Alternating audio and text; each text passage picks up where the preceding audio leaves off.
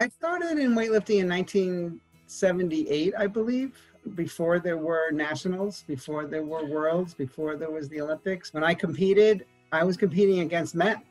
There weren't women's bars, there weren't women's weight classes. People around me, my coach and friends who just loved the sport and just piqued my interest in saying, you know, maybe I have some potential. And I think I liked that as much as I liked anything else. I, I, I kind of liked being different. I liked the fact that it was brand new. I liked that, you know, I could maybe make a mark in, in this world.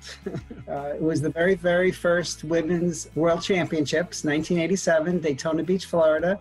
We showed up with as a ball of fire and expected to really to, to take home all the all the gold medals. It didn't exactly turn out that way. China showed up, an unknown entity at the time in weightlifting. It really wasn't the dominant force that it is today. And I was at that point uh, in the weight class 82.5 kilogram weight class. Up to that point, up to the 75 kilos, they swept. They swept the gold. That day that I was competing was there was a lot of expectation.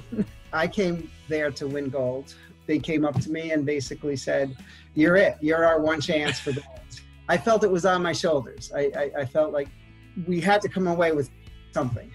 And that was an incredible feeling. And to be able to put in the time and the work and the effort and to be able to showcase that we were a legitimate sport and we deserved recognition and to do the best that we could.